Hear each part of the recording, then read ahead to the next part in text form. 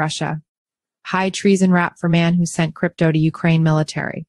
Suspect hails from Khabarovsk Krai, where another suspected crypto donor was arrested on treason charges in late 2023 last updated. September 19th, 2024 at 6 GMT3 author. Tim Alper, author, Tim Alper about author. Tim Alper is a British journalist and features writer who has worked at cryptonews.com since dot. He has written for media outlets such as the BBC, The Guardian, and Chosun Ilbo.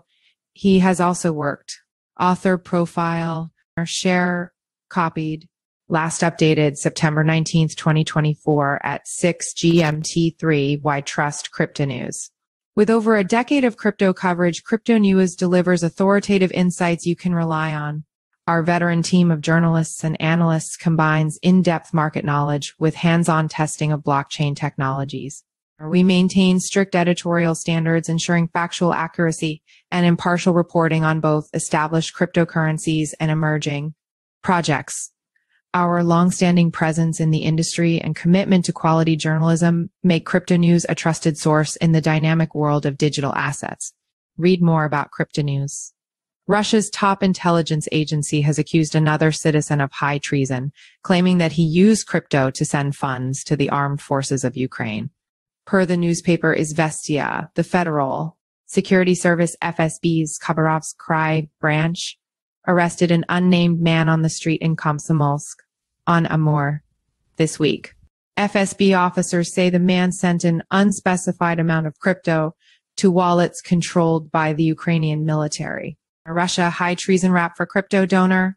The FSB's regional office released a video showing agents in military camouflage and balaclavas arresting the man on a quiet street.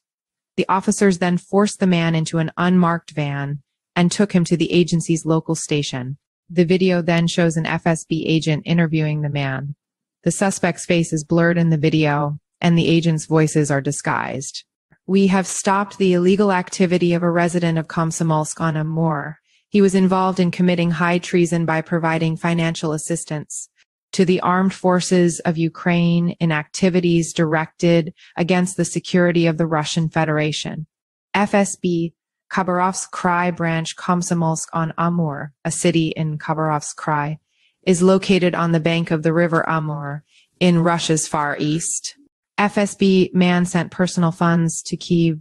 The FSB said they had detained the man and they explained that the man used cryptocurrency to transfer his own personal funds to Kiev.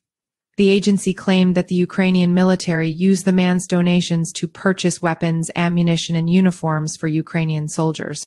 Officers said they were set to charge the man with breaches of Article 275 of the Russian Criminal Code.